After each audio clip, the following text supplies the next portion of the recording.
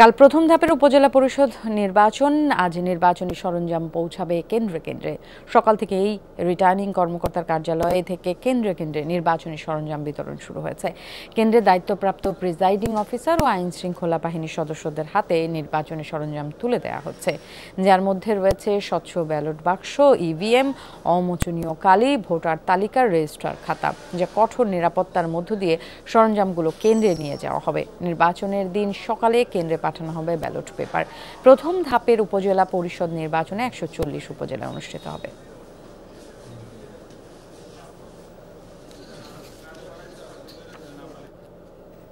দর্শক, আমাদের সহকর্মীরা রয়েছেন উপজেলার নির্বাচন নিয়ে খবরাখবর দেওয়ার জন্য। শুরুতেই যেতে চাই চট্টগ্রামের সীতাকুণ্ড উপজেলা থেকে যোগ দিচ্ছেন সহকর্মী মামুনুর রশিদ অভি।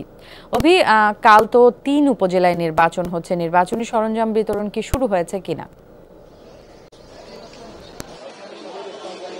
ন্যান্সির নির্বাচনী সরঞ্জাম এখন পর্যন্ত শুরু হয়নি, কারণ এগারোটায় জেলা police super S M Shafiullah পুলিশেরকে, পুলিশদেরকে একটি নির্দেশনামূলক ব্রিফিং করবেন। মূলত সেই ব্রিফিং এর পরেই কিন্তু এখান থেকে একশো বিরানব্বইটি কেন্দ্রে, সীতাকুণ্ড উপজেলা বিরানব্বইটি কেন্দ্রের প্রিজাইডিং অফিসাররা কিন্তু তাদের যে নির্বাচনী সরঞ্জামগুলো সেগুলো আসলে তাদেরকে বুঝিয়ে দেওয়া হবে। এর কিছুক্ষণ পরেই মূলত সাড়ে এগারোটার পর থেকেই এই সরঞ্জামগুলো বিতরণ করা হবে এবং এরই মধ্যে আসলে প্রিজাইডিং অফিসার যারা রয়েছেন, তারা বেশ কিছু, তারা আসলে এখানে উপস্থিত হয়েছেন এবং তারা আসলে অপেক্ষা করছেন যে কখন তারা নির্বাচনী সরঞ্জামগুলো বুঝে নেবেন এবং সেখান থেকে অর্থাৎ নির্বাচনী যে অফিস থেকে তাদেরকে একটি নির্দেশনামূলক নির্দেশনা দেওয়া হবে এবং এই নির্বাচনকে ঘিরে চট্টগ্রাম যে তিন উপজেলা সীতাকুণ্ড, মিরসরা এবং সন্দ্বীপ এই তিনটি উপজেলাতে মোট ভোটার কিন্তু প্রায় সাড়ে আট লাখ এবং এই নির্বাচন যাতে সুষ্ঠু এবং অবাধ সম্পূর্ণ হয়, যাতে কোনো ধরনের অপ্রীতিকর ঘটনা না ঘটে, সেই কারণেই কিন্তু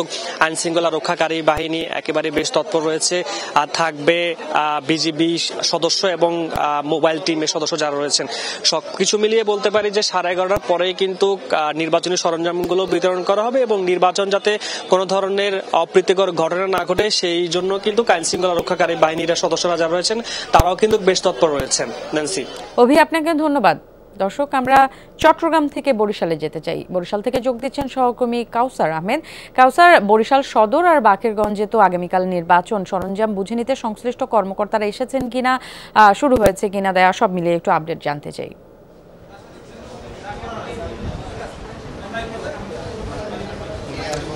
নেন্সি, বেলায় এগারোটার দিকে বরিশাল সদর উপজেলা থেকে যেখানকার যে সহকারী রিটার্নিং কর্মকর্তা রয়েছেন তার কার্যালয় থেকে এরই মধ্যে নির্বাচনী সরঞ্জাম বিতরণ শুরু হয়েছে এবং নির্বাচনী সরঞ্জামের মধ্যে রয়েছে ব্যালট বাক্স, অমোছনীয় কালি, মার্কার, কলম, রেজিস্ট্রি খাতা সিল প্যাড, সিল থেকে শুরু করে প্রায় ষাট ধরনের সরঞ্জাম মানে এখানে রয়েছে। এবং এখান থেকে যারা বিভিন্ন কেন্দ্রের দায়িত্বে রয়েছেন, তাদেরকে এই যে সরঞ্জাম রয়েছে সেটি বুঝিয়ে দিচ্ছেন। এখান থেকে রিটার্নিং কর্মকর্তা কর্মকর্তা এবং সকল রিটার্নিং কর্মকর্তা যারা রয়েছেন, তারা বুঝিয়ে দিচ্ছেন এবং যারা দায়িত্বে রয়েছেন, কেন্দ্রের প্রিজাইডিং কর্মকর্তা তারা কিন্তু এই সরঞ্জাম বুঝিয়ে নিয়ে তারা সেটি যাচাই বাছাই করে দেখছেন যে যা যা দেওয়ার কথা বা তালিকা যা রয়েছে সেগুলো দেওয়া হচ্ছে কিনা। এবং এরপরেই কিন্তু তারা যারা আইন শৃঙ্খলা রক্ষাকারী বাহিনীর সদস্যরা রয়েছেন, পুলিশ এবং আনসার সদস্য, তাদের মাধ্যমে কঠোর নিরাপত্তার মধ্য দিয়ে কিন্তু সেই সরঞ্জামাদি কেন্দ্রের দিকে নিয়ে যাওয়া হচ্ছে। এবং তারা বলছেন যে এই সরঞ্জাম নিয়ে তারা কেন্দ্রে যাবেন এবং ভোট কক্ষ বুথ প্রস্তুতের কাজ শুরু শুরু করবেন যাতে সকাল থেকেই তারা ভোট গ্রহণ শুরু করতে পারেন এবং